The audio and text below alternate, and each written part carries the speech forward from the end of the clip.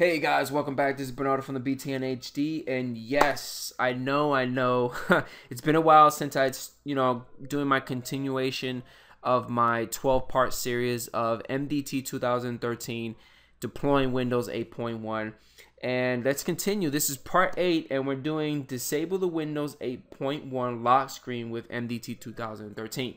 Now, as you can see, I have a Windows 8.1 box.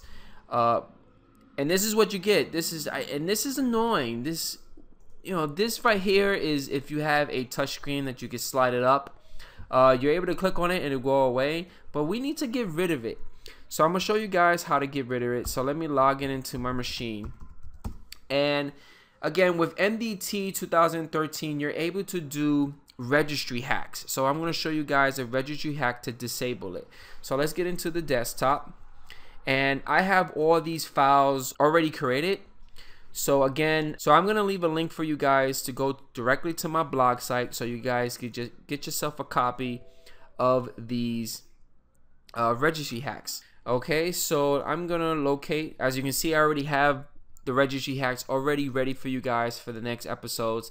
But the one that we want to focus is disable lock screen. So I'm gonna copy that bad boy to the desktop and I'm going to right click and I'm going to edit because I want to show you guys what's really happening. As you can see is going inside the local machine registry uh, tree. Uh, software policies, Microsoft Windows, personalizations, and this is the D word uh, that you need to enter. Uh, within MDT 2013, we're going to do this within a batch file and doing all three of these hacks in one shot. But then there's a little twist that we need to do at the very end. So guys have to uh, be patient with me because we're actually going to do that in episode 9, 9 of 12. So let's double click on this and let's hit yes.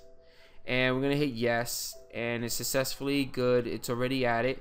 We're going to press OK and what we're going to do is I'm going to restart my machine and if I restart my machine and it when it's back into the login screen, I shouldn't see that window that I have to slide up or click on it to log in.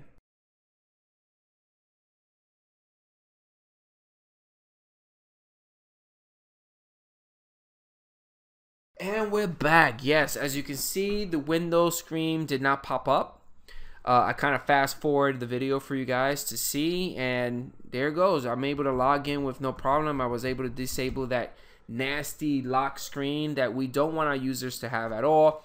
Again please stay tuned guys for episode 9 uh, we are going to do is disable the store the Windows 8.1 store as well as on episode 10 we are going to disable the SkyDrive integration and within that same episode, episode 10 of 12, I'm going to show you guys how to do everything in one shot.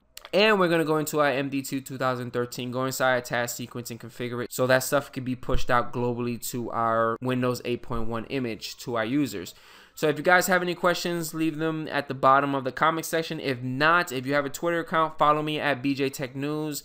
Leave your questions there because I always answer them. And also, don't forget about going to the description part. At the description part, there is going to be a link that's going to take you directly to my blog site to get that registry hack that we just did for this video. And I catch you guys in the next one. Peace out.